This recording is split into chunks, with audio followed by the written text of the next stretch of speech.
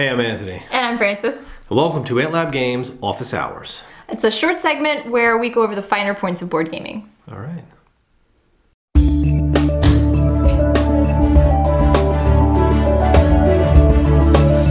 All right, so the finer point that we chose for today is hmm. actually a mechanic.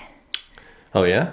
Pickup and delivery. Pickup and delivery. One of my favorites. Yes, indeed. what exactly is pickup and delivery? Well, Board Game Geek defines pickup and delivery as a mechanic that requires players to pick up an item or good at one location on the board and deliver it to another location on the board. So essentially, So pretty self-explanatory. I pick things up and put things down. Uh, Supposedly. Okay.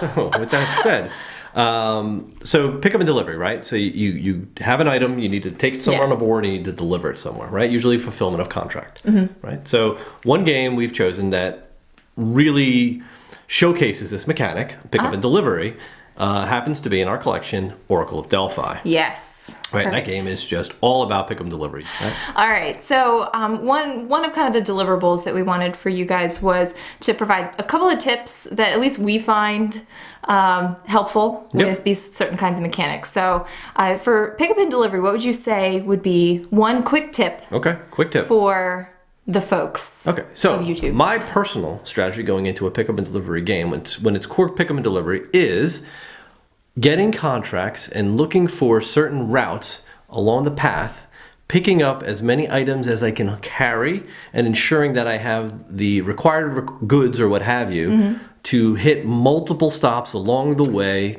to the furthest location, Right. drop off location, right? So that I- efficiency. exactly. Okay. Um, and if I had a tip, I actually have like kind of two part, right? So number one, do not get caught up in a single delivery.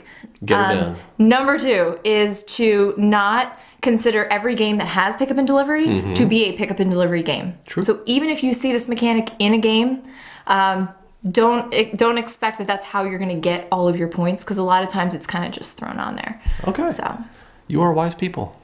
I'm wise meeple. Indeed. So, if you like the pickup and delivery mechanic, Oracle Delphi is a good start. Uh, Rhine, the river Yeah. delivery Yes. game, yeah, that's a good one too. So, there's plenty of them out there. Go check them out on Board Game Geek. I think that's all the time we have today. It's probably the quickest thing you've ever seen from yep. us. So. So, I'm Anthony. I'm Frances. We're from AntLab Games. See you next time. See ya.